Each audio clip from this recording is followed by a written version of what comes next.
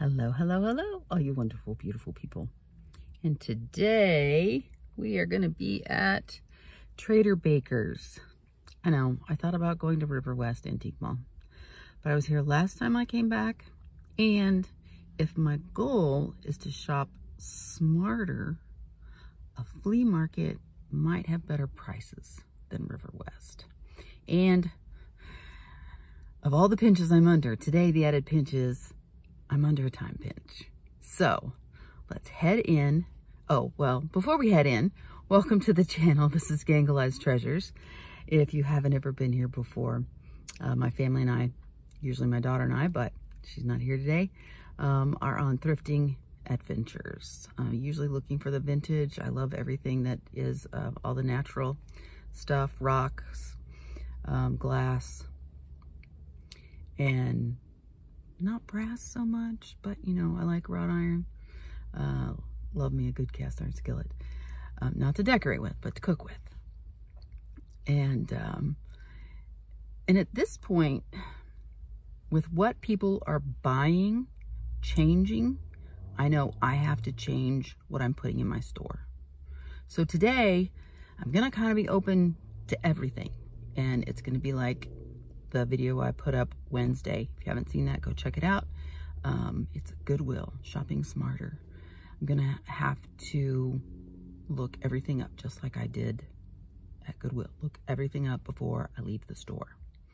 So let's go in, see if we can find some treasure. Right in the door, I see these beautiful royal ruby um, vases beautiful vintage. Love the red color. Oh, squirrel, look at that. But the vases are, there's not enough margin in there. This is hand blown, as you can tell by the pontil scar on the bottom. There are seven listed and none sold. So that's going to stay back on the shelf. And I'm going to look at some more glass. And, well, let's try something new. Let's look at tools. Screwdrivers and pliers and wrenches and, oh look, there's batteries. Um, batteries were not a good seller. Thought about socks and thought, well, I'll take a look at the whole table and then I'll decide what I'm going to look up. Because if I remember correctly, the last time I was here, in some spots of the store, I could get internet connection, and in some of them, I could not. So I'm going to go all the way down to the end. Ooh, jewelry, pretties. Um, I didn't look very hard at these, and maybe I should have. Let me know in the comments, because I was still thinking about the stuff on the other table. So I wanted to get on this side because I thought, well, batteries is something people use. If I need to be buying things that people use more, would be lotions and soaps and detergents, and that's what's over here. And I looked up the dial, I looked up the Suave, I looked up the whatever the green stuff is. I did not look up this. Um, but most of them sold in lots and of six or more, and for the price they were asking, there either wasn't enough sell through rate or there wasn't enough margin. More jewelry. I'm just going to pass by the jewelry. I have a mystery jewelry box unboxing coming up next week. Ooh, well, let's look at Little Debbie. Gotta look at all the new stuff. But when you look at food, you always got to check the date. 2022. It's outdated. You can't sell it. You can buy it, but you can't sell it. 2022. Now, these might be things that they don't have anymore that would be very desirable for some people who like them.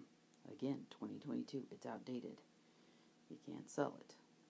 Um, I'm sure it has enough preservatives in it that it's probably still good. Oh, look at that. Should I get that for the whatnot? Would be something different to give away. Usually we give away jewelry.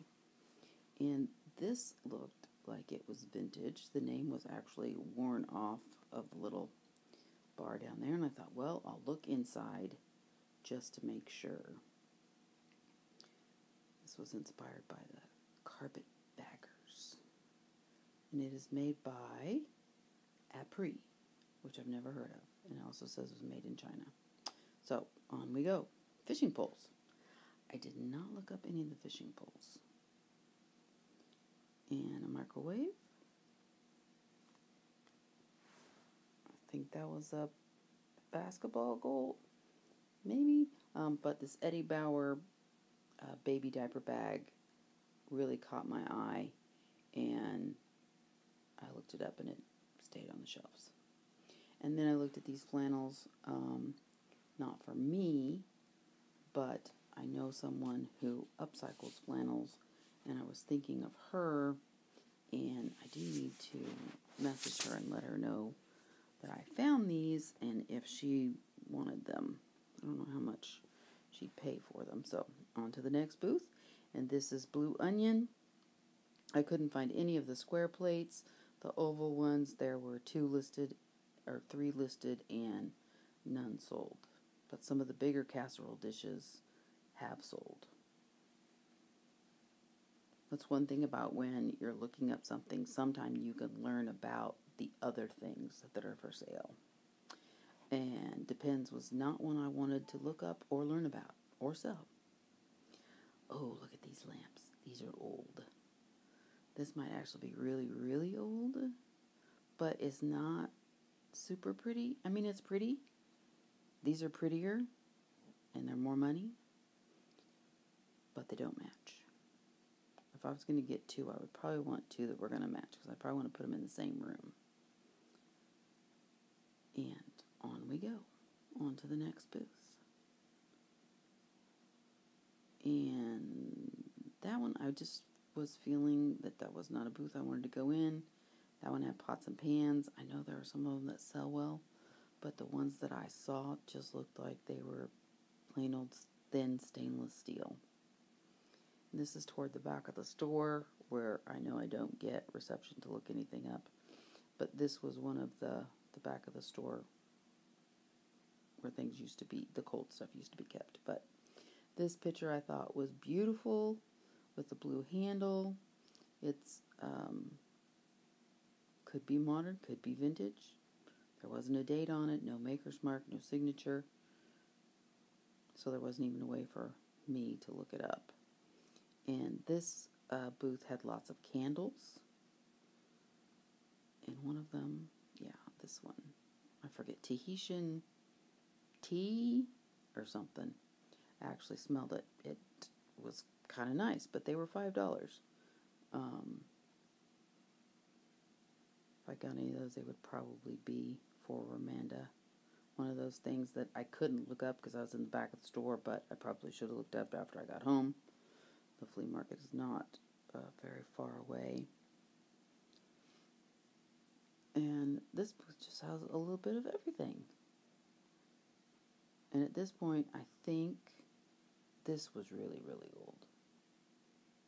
But it was just in bad shape. It was starting to tear right there.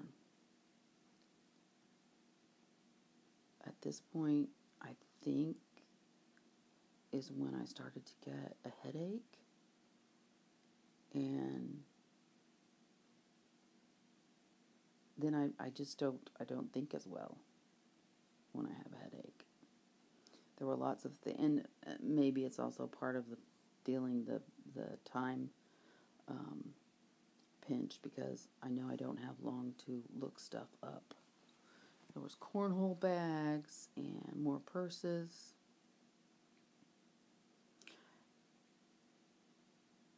And by this point, oh, and then I found this. This is a Budweiser thermometer but there is one listed and none sold.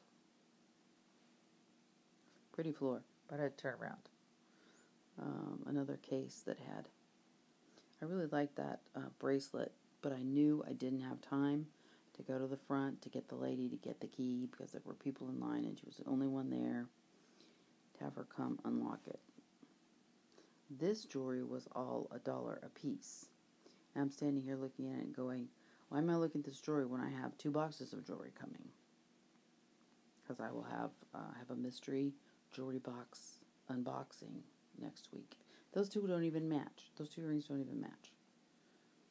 I'm like, why am I looking at jewelry? And this one had lots of soaps and lots of lotions. I literally could have spent an hour looking up all those things, which is part of the learning and part of the finding things that sell. I could go back to Traderbaker's. And that's just beautiful. That's one of the things that I would have picked up before. And this was very interesting. I don't think it, it's not leather, but it's just different. Different can be good. But they wanted, like, did I get a picture of the tag? Nope. They wanted 9 or $12 for it. I thought, oh, I'm here, I'll look at the purses. And then there wasn't anything that thrilled me. Not even the Christmas throw. Clothes. It was a pretty sweater, but not the right size and not designer. So it stayed on the shelf. I feel like I'm beginning to repeat myself, just it stayed on the shelf. This was really cool. This is how to make your own iced coffee. But there was no price on it, and I did scan the barcode, and there are none listed on eBay. I thought it would be cool for me, but it's cold this time of year, and I'm not into iced coffee. That booth had a really pretty um, Oh, actually, I came in to look at the refrigerator. They wanted like seventy-five or eighty dollars for the refrigerator, which I kind of thought of. We depends on what kind of refrigerator we get in the new house. We definitely need a drink refrigerator.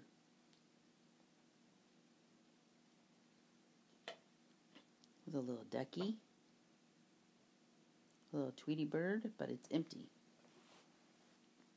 I might have looked it up if it had the shampoo still in it. I would have thought that would have made it more desirable. And this shop, or this shop, this booth doesn't have uh, very much. And since I already looked up a couple tools and the batteries and have a headache, I didn't look any of those up. More socks and hats. Some of these down here on the bottom looked like they were really warm socks.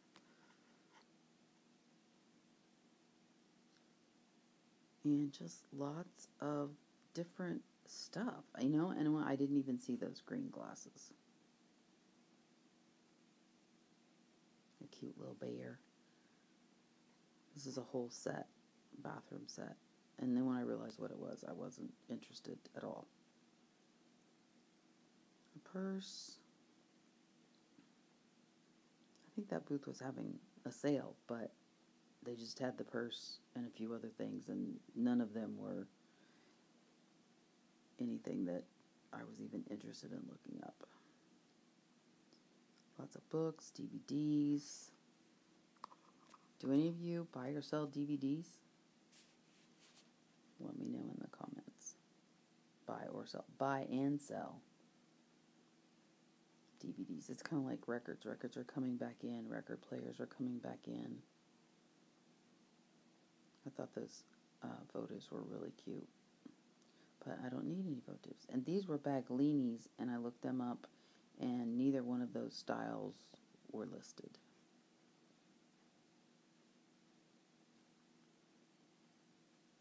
More pots and pans next to Winnie the Pooh, and copper molds for jellos, shoes, and clothes. I did not do the intro in the store or in the car, so I'm going to have to do it here at the house. That was a very disappointing trip. But I only had an hour. I didn't see all the aisles. I didn't have uh, Wi-Fi to look up things in all parts of the store, and I didn't see everything. So I could go back and spend more time there and look up things, and I would hope that we would be able to find something um, that we could actually there would that it would have a good sell-through rate and at least be enough money to cover the costs of listing on eBay make me a little money. Um, but that didn't happen with any of the items that I looked at. If I missed something, let me know. Um, or if there's something that I should have picked up because you know it's going to be a trend soon, let me know. Um, again, I do have the jewelry mystery box unboxing next week. It'll be up on Wednesday. The box just came today. I have not opened it yet. Hopefully, that will be a much better video than this one. But, um, you know, you don't always go every single time and find something. Um, it's about time for me to find a home run, I think. But until then, I apologize that this was a short video, but remember, you are blessed to be a blessing agree.